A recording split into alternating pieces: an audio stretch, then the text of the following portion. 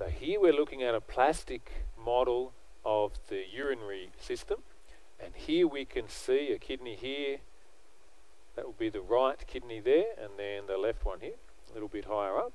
We can see the adrenal or suprarenal glands sitting in the superior aspect of the kidneys there. But what's really cool is running down either side on the psoas major here we can see a ureter. So there's a ureter either side and they're running all the way down to the bladder. So here we can see the bladder from an anterior point of view here.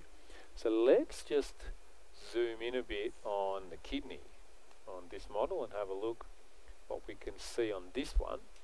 So here if we remove the anterior surface again we can see cortex being just inside the capsule there being the outer part of the kidney. We can see a pyramid here and we can see uh, probably the easiest one to see or the clearest one this would be a minor calyx here. It's a little tricky to pinpoint the major calyces on here. We can see a couple of minor calyces up this end have come together so we can say that this is a major calyx here. Then we can see the renal pelvis here and here where it's an enlarged tube before it narrows to become the ureter. So that's what we can see there with the kidney. But what we can also see on this model, we have a closer look at the bladder, and it's nice that we can actually remove the bladder eventually from this model. And please accept my apologies, it's been being held in with Blu Tack, so there's Blu Tack on various parts of it. But here we've got an anterior view of the bladder.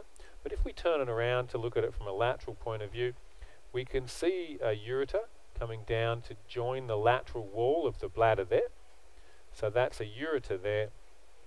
But what we can also see on this model is there's something running along here. And this, this is not Blu Tack, this is a structure on the model. This is the ductus deferens. So that means we know immediately this is a male model. And what we can also see as well as that is this is a seminal gland here on the back of the bladder. And then inferior to the bladder, this is the prostate gland. So we can see that there. So that's ductus deferens, seminal gland, and prostate gland there.